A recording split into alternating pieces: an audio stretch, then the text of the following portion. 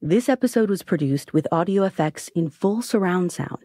For the best experience, we kindly recommend you listen with headphones. Hi, listeners. I'm Shai Sheree, and I have a story I want to tell you. A story about what grows in the space between life and death. So gather round and listen close.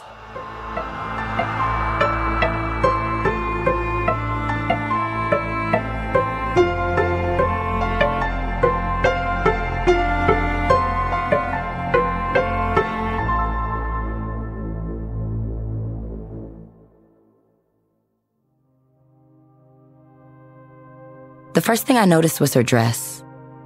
It wasn't all that unique, just some long green peasant thing, but it was enough to make me look at the whole painting. Forest, check. Rosy cheeked woman with a kerchief over her hair, check. All it needed was a little dog and a rainbow, and the cliche would be all there. But somehow, it didn't strike me as cheesy. In fact, it was actually kind of fascinating. All in all, not bad for a no name portrait by a no name artist hanging on the wall of a living room that was probably super trendy in 1957, right? It definitely wasn't a Rembrandt, but it wasn't Elvis on black velvet either. Considering it belonged to my coworker Alan, who was letting me stay at his family's lake house for the long weekend, the least I could do was be polite.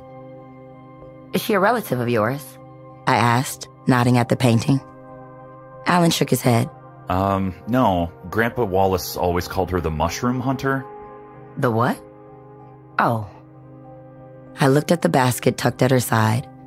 It was filled to the brim with mushrooms and fungi of all sizes, some stark white, others buttery yellow, all with forest dirt still clinging to them.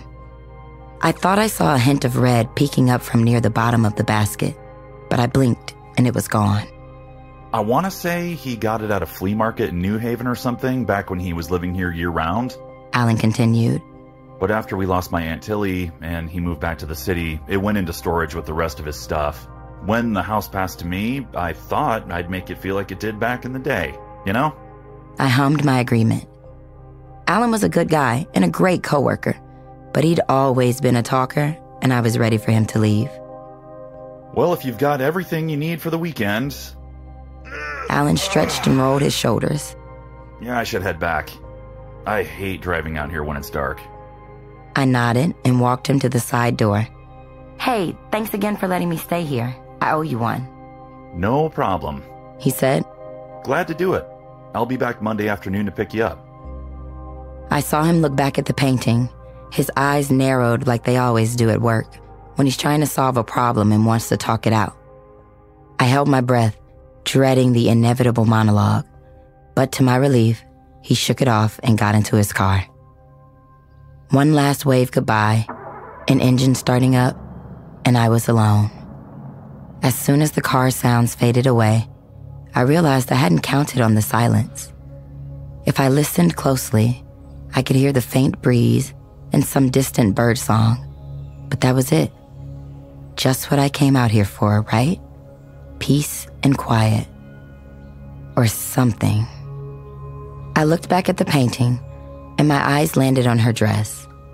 I couldn't help but be impressed at its level of detail. Like, yeah, it was folksy, but the swirling orchid patterns on her bodice were more intricate than I would have expected. Again, I swore I saw a flash of red, this time out of the corner of my eye. But when I looked back at her basket, all I saw were regular mushrooms. I put away my groceries and tossed together a big salad to last me through the day. After lunch, I took the cottage keys and decided to go exploring. I unlocked the screen porch downstairs, then I ventured up to poke my head into the old servants' quarters above the kitchen. Paint peeled off the rickety iron bed frame like a pale shoulder with a sunburn, and the whole room reeked like mothballs and musty paper. I hated to think of someone actually sleeping in there. The other bedrooms weren't so bad. The air tasted stale from being confined for so long, but the wooden walls still had their varnished shine. Bookshelves sagged under the weight of well loved paperbacks, everything from hard boiled mysteries to children's adventure stories, with a couple of trashy romance novels hidden at the back. I touched the spine of an old Audubon field guide, smiling a little as I pulled it off the shelf to take with me. I'd seen some binoculars in the den. Who knows, maybe I could sit out on the screen porch and do some lazy girls bird watching this weekend. The last key belonged to the boathouse. The slips were empty since the boat was still in storage. But on the drive up, Alan had mentioned I was welcome to use his kayak if I wanted. Tomorrow, definitely. Today, though, I just wanted to relax. I spent the rest of the afternoon and evening curled up on the living room couch with a book I'd been meaning to read, getting up only to get snacks and to go to the bathroom. It had been too long since I'd been able to spend so much of a day with the book. I ate the rest of my salad with the bowl acting as a bookmark, just like I used to when I was growing up. It felt good reclaiming some of my time. I really needed to do this more often. By the time I went up to bed, I was calmer than I'd been in months. The next morning, I woke up feeling fully rested. I made coffee and microwaved a breakfast sandwich, and since it was a nice day, I decided to eat out on the porch. I spent the day reading until I got a craving for some baked goods. Not just any baked goods, but my Oma's Amish muffins, which are easy and delicious and designed to feed an army. Aside from some cobwebs in the container of cornmeal, the rest of the dry ingredients in the kitchen pantry were fine to use. So I made a big batch of muffins and had a few of them for lunch. All in all, I had a great first day at the lake house. I swam, I took a shower, and that evening, after a quick dinner, I decided to do a jigsaw puzzle. More of the city's tension dropped away from me. I felt lighter being so unconnected for once with my laptop back at the office and only a landline for company. My mom couldn't call my cell three times in a row and then text me asking why I didn't answer. And Paul from Baltimore or whoever couldn't bother me on Bumble. To be honest, I felt great. And when I went up to bed, I fell asleep as soon as my head hit the pillow. The next thing I knew, I was in the forest. The underbrush tickled my bare legs where my dress was rucked up, and the strands of hair escaping my kerchief stuck to my sweaty face. Even though it wasn't raining anymore, moisture still clung to the air, heavy with the sickly sweet scents of loam and wildflowers that made me want to sneeze. My chest hurt, and I wanted to go home. But going home without a full haul would only mean trouble, and I just couldn't bear it. Something banged against my hip. I glanced down, and there, held right in the crook of my elbow, was an empty basket. I groaned and rolled over in bed as the last of the dream faded away. It was still dark when I opened my eyes, and it took a second to realize why my bedroom window was in the wrong place. I wasn't in my bedroom. I was at the lake house. Right. Right. I pulled the covers back up around my shoulders and went back to sleep. When I woke up again, the sunlight flooded my room and the clock on the nightstand read 10:17 a.m. I went downstairs and had a muffin with coffee as I walked around the outdoor porch. I came to the door of the den, and there I found a trail of muddy footprints that tracked inside. I rolled my eyes. I hadn't noticed myself leaving them yesterday, but then again, I'd been kind of in my own world embracing cottage life. A damp paper towel cleaned them right up. No harm, no foul. Back to vacation mode. After I finished eating, I went back to the living room to finish my puzzle. Since the house wasn't air conditioned, I left the windows open letting the wind waft in and out of the room. It was a cool day, but the air was just humid enough to leave a film of moisture across my skin. And by the time I stood up and stretched, I was definitely ready for a swim. I had to walk through the den to get to the bathroom where I'd left my bathing suit. But halfway across the room, something stopped me in my tracks. The mushroom hunter's dress looked different than I remembered. If someone had asked me yesterday, I would have sworn it was bright grassy green. But now, it looked faded and threadbare. Dirt stained the hem, and her skirt was mottled with black and white spots that seemed to be eating into the fabric. The embroidery I'd been so impressed with was frayed. But what struck me the most wasn't her ratty dress or her bare feet. It was her basket. I. I guess I didn't look close enough yesterday because even after I squeezed my eyes shut and opened them again, the painting didn't change. No mushrooms, just the woven bottom of her basket. I looked away from her and walked just a little faster. I felt kind of uneasy for the rest of the day. I couldn't put my finger on it, but I could have sworn I'd forgotten to do something important, even though I had no clue what that might be. No matter how hard I tried, I couldn't stop thinking about it. And the more I thought about it, the worse the feeling got. A sore spot I couldn't stop poking. I went for another swim at dusk to try and burn off the excess energy. It seemed to work. I felt pleasantly worn out like I always did after a good workout. My mind felt clearer too. Whatever I was forgetting couldn't be that important. And if there truly was an emergency, my friends and family knew where I was. They could easily just call the landline. Everything was totally fine. I had nothing to worry about. And as soon as I got into bed and turned out the light, I was confident that tomorrow was going to be amazing. The forest blinked into view. I rubbed the back of my hand over my eyes, sighing as I stepped over another root just waiting to trip me. I kept walking. Along the way, I found some white mushrooms poking out from the undergrowth, and they went right into my basket. But it wasn't enough. I had to keep going. The trees got taller and taller the deeper I went, and the air around me grew stifled until suddenly I came to a clearing. A shaft of sunlight broke through where some trees had fallen down, and my heart sped up in excitement. From a wound in the trunk, I could see golden yellow mushroom caps clustered together. My mouth watered at the sight. I couldn't wait to get them home so I could fry them up in the last of our butter. The first few came off the tree easily, and yet, as I kept going, it felt as if they were beginning to resist me. Moreover, the ones left on the tree began to change color. A rusty red veined out from the stalks and up into the caps, infecting the pristine yellow.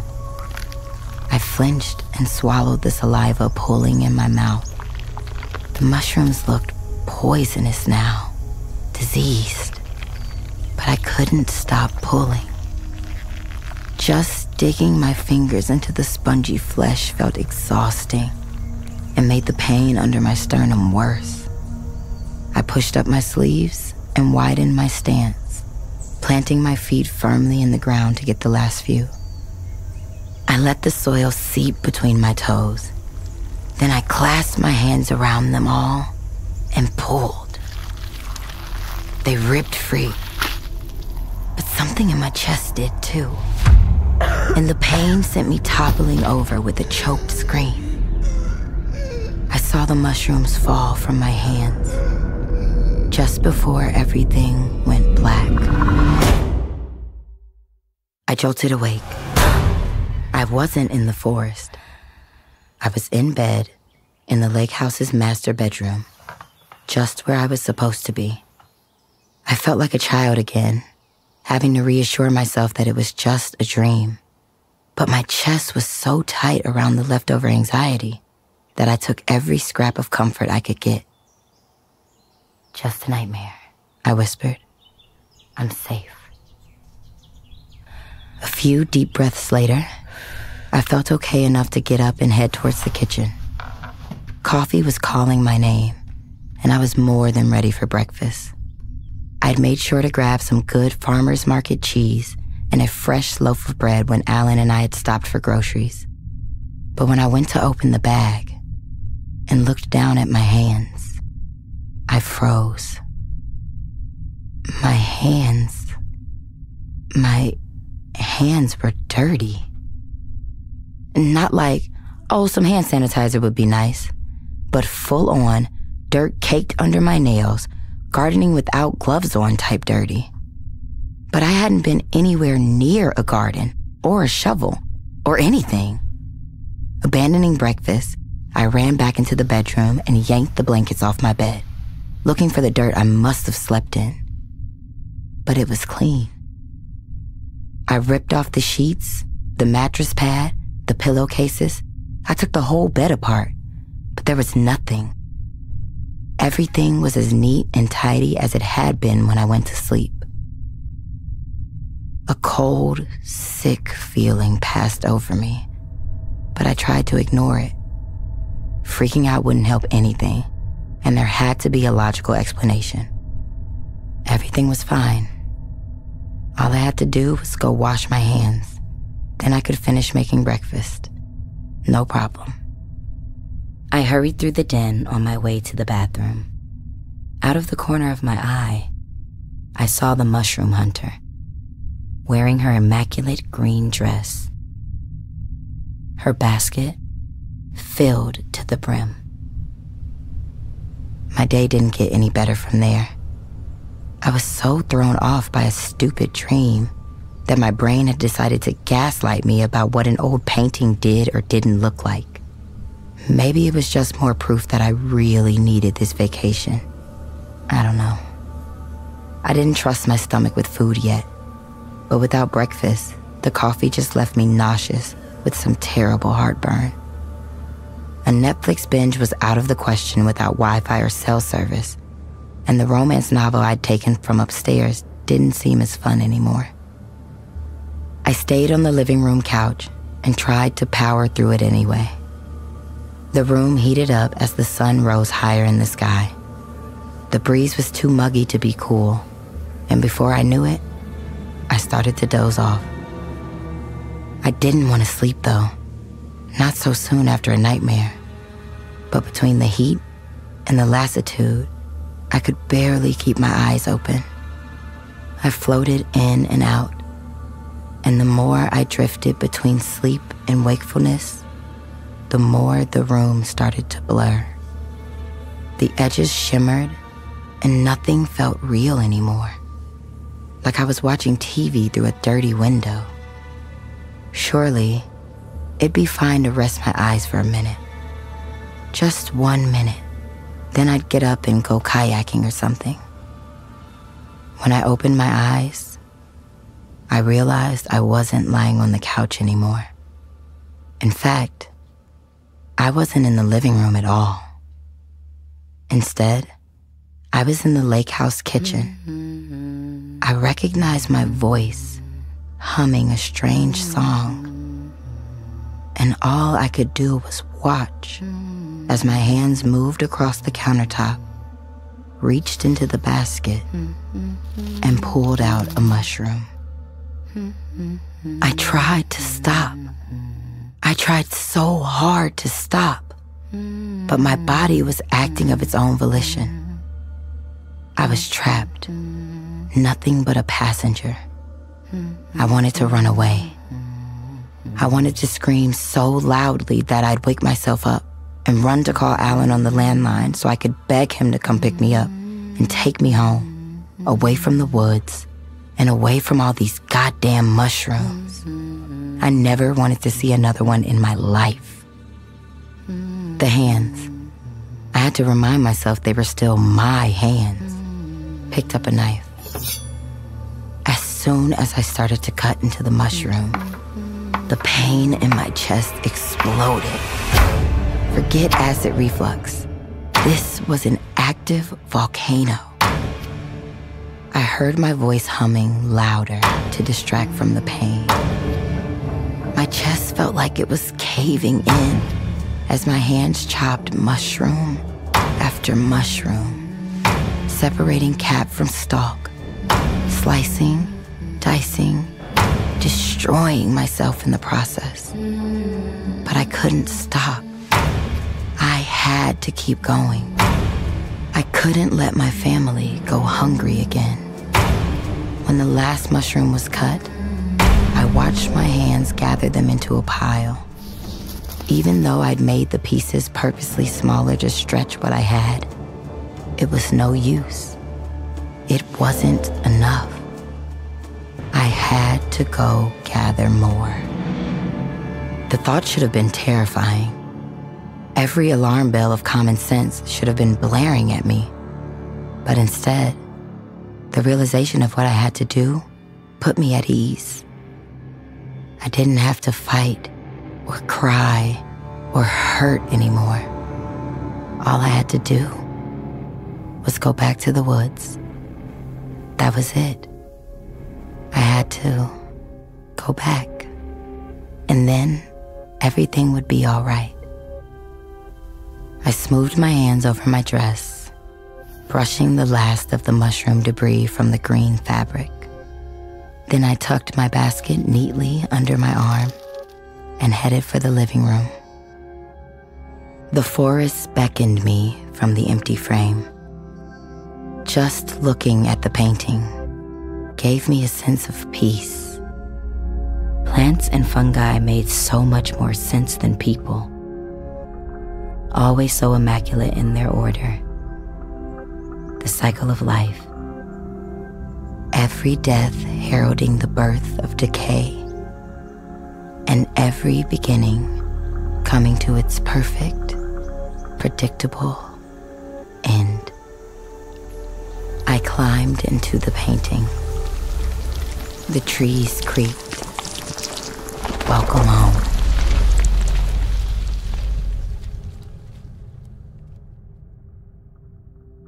Two days later, Alan came back the lake house. When he walked into the living room and saw the woman in the portrait, the blood drained from his face. He reached out a shaking hand and touched her face, only to pull back like she'd shocked him. And then, without wasting another second, he ran for the phone in the kitchen and called a number he knew by heart. Yeah, hi, uh, New Haven Flea and Vintage? I think we have a problem.